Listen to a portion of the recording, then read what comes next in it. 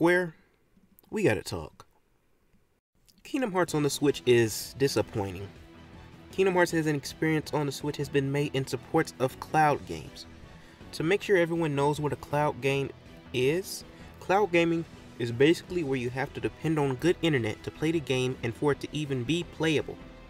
In this case, for Kingdom Hearts, you will need excellent internet because even people with good internet had issues with 3.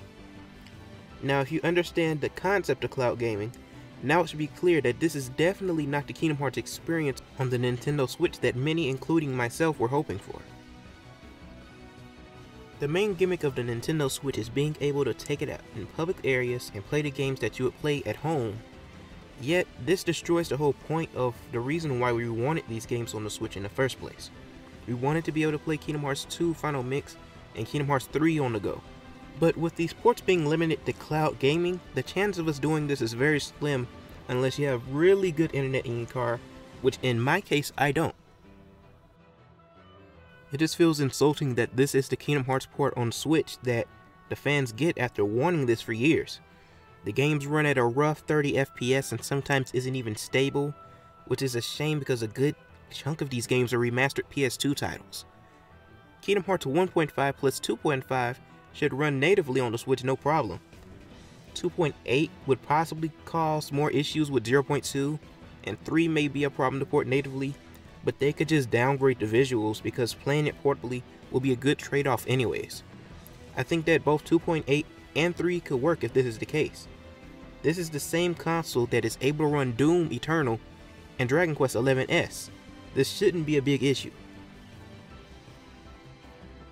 The real bad part of this is that this may be the first Kingdom Hearts experience Switch owners may have, and it will be a very rocky one possibly turning them away from the series altogether.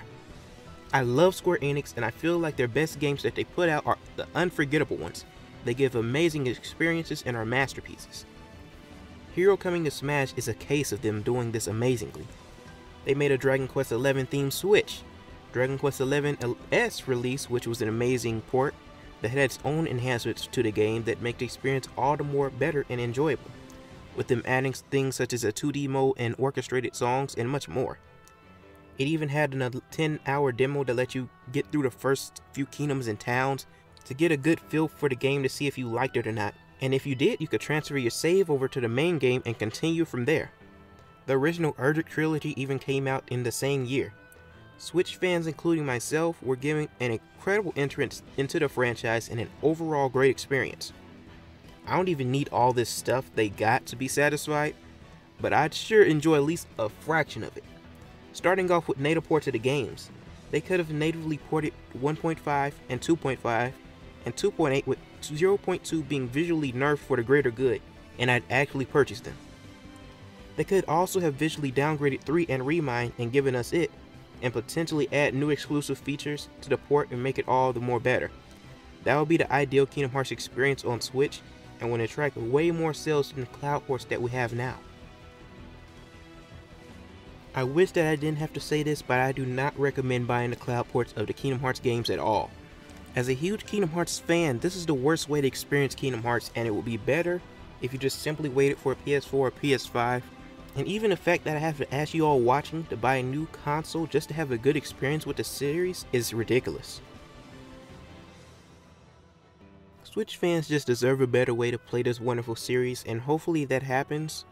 We are dealing with a double-edged sword here, meaning that if we don't support this, we may never see Kingdom Hearts content on the Switch again, which would really suck because Kingdom Hearts should be accessible on all forms of modern hardware.